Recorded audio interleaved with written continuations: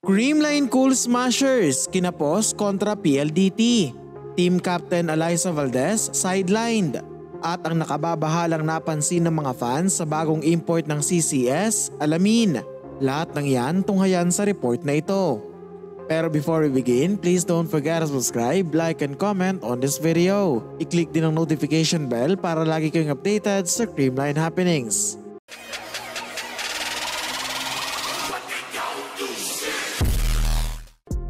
First game for the Cool Smashers sa 2024 PVL Reinforced Conference.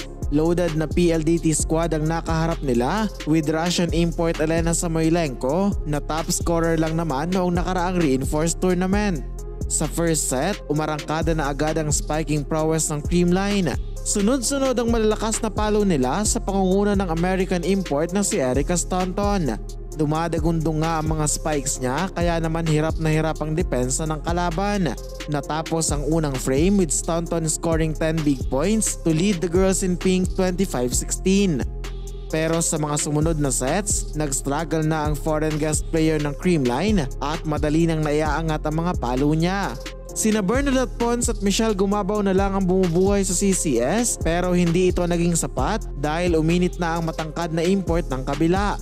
Naging sobrang unstoppable nga si Samoylenko lalo na pag nasa harap at hindi makuha ng Creamline ang tamang timing para mablock siya. Nalimitahan naman ang scoring production ni Erica at malaking factor dyan ang impeccable defense ng PLDT. Sa huli, umabot ng 5 sets ang laban with the high-speed hitters taking win number 1, 25-16, 22-25, 26-24, 19-25 at 12-15. Matapos ang game, marami ang nagpaabot ng panghihinayang sa pagkatalo ng Creamline. Sideline kasi sinadya Galanza na may national team duties at Tots Carlos na injured pa sa ngayon. Si team captain Eliza Valdez din ay makikitang not in uniform though hindi malinaw kung ano ang dahilan nito. Sumentro naman ang komento ng mga fans sa naging performance ni Stanton. Very explosive kasi ito sa first set pero biglang bumaba ang kanyang performance sa succeeding sets lalo na sa crucial moments. Ayon nga sa isang fan, parang ang bilis daw mapagod ng young foreign guest player at hindi ito sanay sa mga mahabang games. Hindi rin daw normal ang dami ng errors na nagawa niya kumpara sa imports ng ibang team. Sabi pa ng isang volleyball supporter, dapat daw ay maturuan ng variation of attack si Erica dahil napaka-predictable ng mga palo niya as observed sa second to fifth sets kung saan nalimitahan lang siya sa 10 points. Pero depensa naman ng ilan, baka nag adjust pa si Staunton dahil fresh grad pa lang ito at first international stint niya ang PVL. Hindi naman daw may pagkakaila na sobrang liksi ng nasabing player sa kanyang height na 6'1".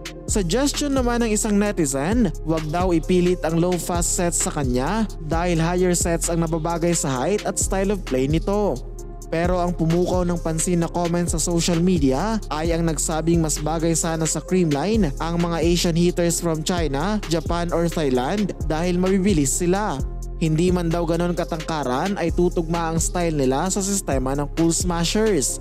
Ilan sa mga nabanggit na posible sanang kinuha ay sina Yukiko Wada at Mayu Ishikawa ng Japan, Chachuon Moxri at Pimpi Chaya Kokram ng Thailand, at Li Yingying at Meng Jiwoo from China. Sigurado nga abangan sa susunod na laban kung mas maayos na ba ang magiging performance ni Staunton o madidismaya na naman ng ilang Creamline fans.